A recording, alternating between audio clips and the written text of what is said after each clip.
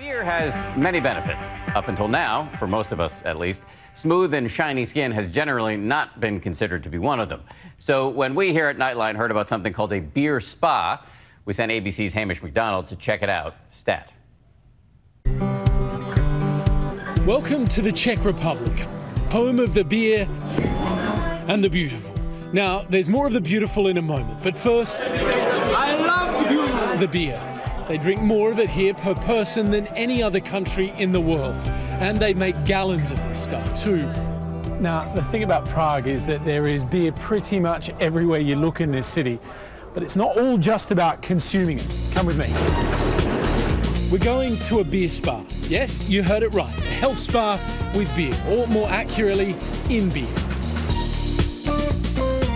So this is it? There are no sweetly scented candles here. It's yeast, malt, and hops. An entire microbrewery, if you like, all dumped in to a heated spa bath. It's all the ingredients that the beer is brewed from. So in extreme case, if you will brew it, the beer comes out. Can I have a smell? Yeah. It's, it's very, very strong.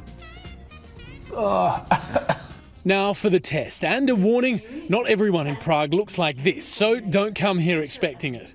It's a little bit weird because it's green color, so it look like some dirty lake maybe, but it's like good. It's warm, it's not smelling so bad.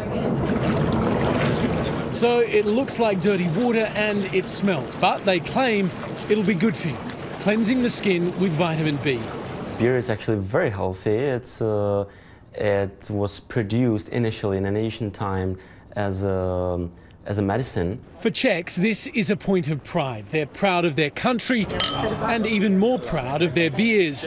This niche market is brewing new business. 80% of visitors come here from other countries. They don't just want to drink in the Czech experience, they want to bathe in it too.